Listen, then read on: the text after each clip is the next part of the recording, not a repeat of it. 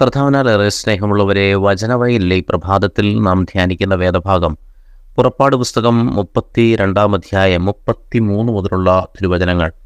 അപ്പോൾ കർത്താവ് മോശയോട് പറഞ്ഞു എനിക്കെതിരായി പാപം ചെയ്തവനെയാണ് എന്റെ പുസ്തകത്തിൽ നിന്ന് ഞാൻ തുടച്ചു നീക്കുക. നീ പോയി ഞാൻ നിന്നോട് പറഞ്ഞിട്ടുള്ള സ്ഥലത്തേക്ക് ജനത്തെ നയിക്കുക. എന്റെ ദൂതൻ നിന്റെ മുൻപേ പോകും. എങ്കിലും ഞാൻ അവരെ സന്ദർശിക്കുന്ന ദിവസം അവരുടെ പാപങ്ങളെ പ്രതി അവരെ ശിക്ഷിക്കും. കാളക്കുട്ടിയെ നിർമ്മിക്കാൻ അവർ അഹ്റോനെ നിർബന്ധിച്ചതിനാൽ കർത്താവ് അവരുടെ മേൽ മഹാമാരി അയച്ചു. പ്രിയപ്പെട്ടവരെ മോശയുടെ വലിയൊരു മാധ്യസ്ഥം ഇസ്രായേൽ ജനത്തിന്റെ രക്ഷയ്ക്ക് കാരണമായി തീർന്നു. മോശ കർത്താവിന്റെ കരുണയോട് അപേക്ഷിച്ചു ഈ ജനത്തിന്റെ മേൽ കരുണ തോന്നണമേ എന്ന്. അപ്പോൾ കർത്താവ് പറയുകയാണ് അവരുടെ പാപം വളരെ വലുതാണ്. നീ അവർക്ക് വേണ്ടി ജീവൻ കളയാൻ നിൽക്കേണ്ട കാര്യമില്ല. കാരണം നിനക്കെതിരായിട്ടല്ല അവർ പാപം ചെയ്തത് മറിച്ച് സർവശക്തനായ ദൈവത്തിനെതിരാണ്. കർത്താവ് മോശയോട് പറഞ്ഞു എനിക്കെതിരായി പാപം ചെയ്തവനെയാണ് ഞാൻ എന്റെ പുസ്തകത്തിൽ നിന്ന് തുടച്ചു നീക്കുക. അവർക്ക് വേണ്ടി ഒന്നും ചെയ്യാത്ത നിന്റെ പേര് ഞാൻ വെട്ടിക്കളയുകയില്ല. ആരാണോ പാവം ചെയ്തത് അവന്റെ പേരാണ് ജീവന്റെ പുസ്തകത്തിൽ നിന്ന് മായ്ച്ചു കളയുക. അപ്പോൾ പ്രിയപ്പെട്ടവരെ ഇവിടെ നാം മനസ്സിലാക്കേണ്ട ഒരു കാര്യം മോശ എന്ന് പറയുന്ന ഒരു മനുഷ്യന് അവന്റെ പരിമിതിയുണ്ട്.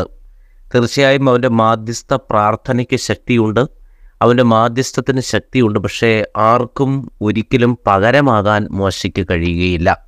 ഇവിടെ മോശ പറയുന്ന കർത്താവെ ഈ ഒരു തെറ്റ്.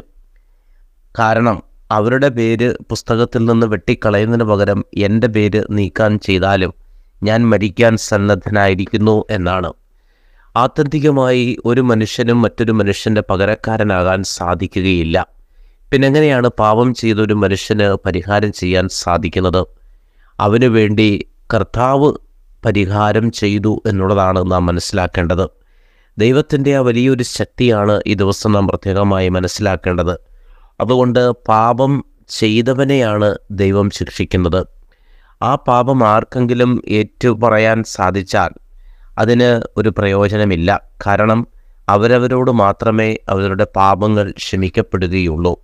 അതുകൊണ്ട് ഒരു മനുഷ്യനും മറ്റൊരു മനുഷ്യന് പകരക്കാരനാകാനോ അവനെ ഏറ്റെടുക്കുവാനോ കഴിയുകയില്ലാത്തതുകൊണ്ടാണ് ദൈവപുത്രൻ മനുഷ്യനായി ഭൂമിയിലേക്ക് അവതരിക്കുകയും അവന്റെ കുരിശുമരണത്തിലൂടെ രക്ഷാകരമായൊരു ജീവശ്വാസം നമുക്ക് നൽകുകയും ചെയ്തത്. അതുകൊണ്ട് പ്രിയപ്പെട്ടവരെ ക്രിസ്തുവിന്റെ മാധ്യസ്ഥമാണ് ഏറ്റവും വലിയ മാധ്യസ്ഥം ദൈവസന്നിധിയിൽ അവൻ മധ്യസ്ഥനാണ് എന്ന് പൗലുസ്ലിഹ നമ്മെ പഠിപ്പിക്കുന്നുമുണ്ട്.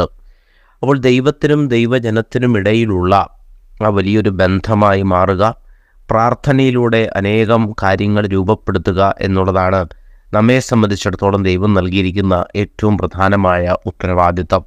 അതുകൊണ്ട് പ്രിയപ്പെട്ടവരെ ദൈവ ദൈവരാജ്യത്തിന്റെ ശുശ്രൂഷയ്ക്ക് വേണ്ടി നമ്മെ തന്നെ സമർപ്പിക്കുമ്പോൾ നാം മനസ്സിലാക്കേണ്ടത് ജനത്തിന്റെ പാപങ്ങൾക്ക് വേണ്ടി പരിഹാരം ചെയ്ത് ബലിയർപ്പിക്കുവാൻ മാത്രമേ നമുക്ക് സാധിക്കുകയുള്ളൂ.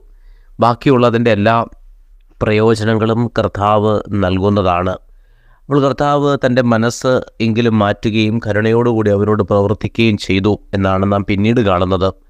മോശയോട് പറഞ്ഞു ഞാൻ നിന്നെ കാണിച്ചിരുന്ന സ്ഥലത്തേക്ക് ജനത്തെ ഇപ്പോൾ നയിക്കുക. അവരുടെ പാപങ്ങളെ പ്രതി അവരെ സന്ദർശിക്കുന്ന ദിവസം ഞാൻ അവരെ ശുശ്രൂഷിക്കുമെന്നും വചനം പറയുന്നു. കർത്താവ് നമ്മുടെ ദിവസത്തെ അനുഗ്രഹിക്കട്ടെ. സ്നേഹപൂർവം ആദർശിച്ച്.